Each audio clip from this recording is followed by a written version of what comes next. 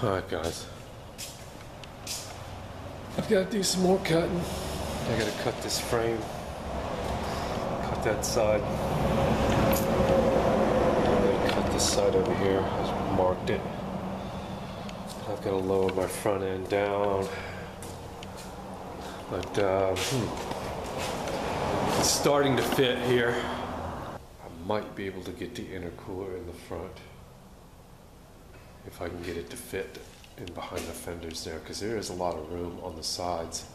The intercooler is pretty thin, pretty wide.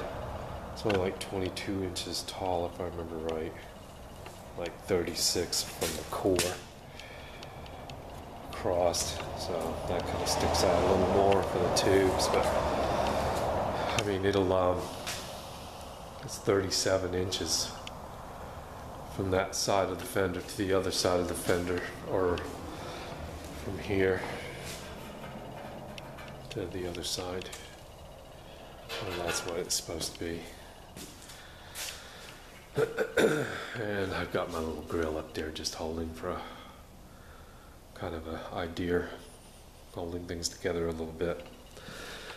my cab looks good, but actually I'm gonna have to uh, raise it back up in the rear, I think. Either that or I'm gonna have to cut the front underneath where it meets the uh,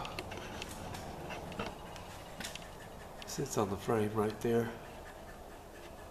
I might end up cutting that section of the cab and folding it up and boxing it. I mean, it's nothing that anybody can see, and the floorboard is actually like six, seven inches up above that, so um, that'll be a little bit of work, but I think I can pull that off. That way I can tuck the cab lower and lower onto here. Yeah, you can probably see it better from this side. Let's see if I can zoom into it. Wrong way. Right there where it sits on the frame. I can cut that up and I can drop it another two inches. But um, let me get this side of the frame cut off and I'll be able to lower the front end down. I don't have a lot of room. I'm gonna have to relocate the alternator. Um, my throttle, which is nothing to it. I mean, you can mount that thing pretty much anywhere. I can actually mount it on the firewall if I want, or back of the motor. Um, I'm gonna have to build me a horn, which shouldn't be too awful hard. I'll figure it out. And the turbo is gonna be awfully close on the clearing. That's probably gonna be my um, deciding factor on where the cab's gonna go, is where the turbo is gonna hit the fender. So, and it's um, pretty close, so I'm thinking I've got just a little bit. Once I cut this frame off, I can drop the front end down just a little bit, and I'm gonna have to actually raise the cab, maybe, or I don't know, we'll figure it out. If I come forward with it some more, because um,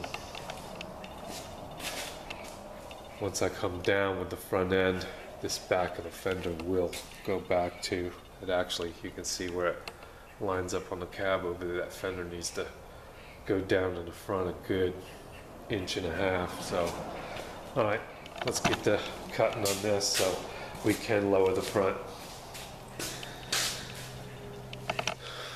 The carnage, the pieces, the parts.